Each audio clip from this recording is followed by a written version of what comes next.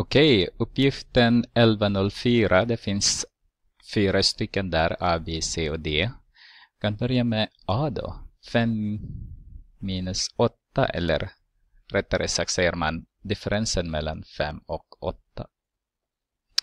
En eh, vanlig subtraktion så har vi varmt nu då. Om man pratar om temperaturen, jag brukar prata om temperaturen, så det blir kallare åtta steg så hamnar man i negativ 3.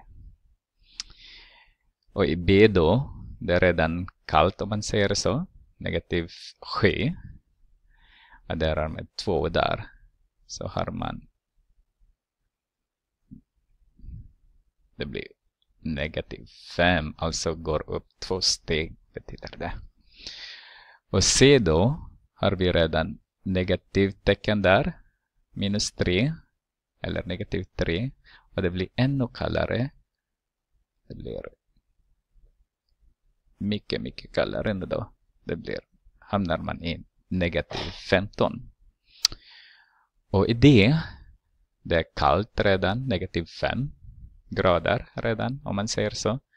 Då kan man tänka att det går upp, alltså det blir varmare. Det brukar vara på, uh, på uh, våren då, att det är kallt på natten. Men det är varmare på dagen. Så blir det uppe.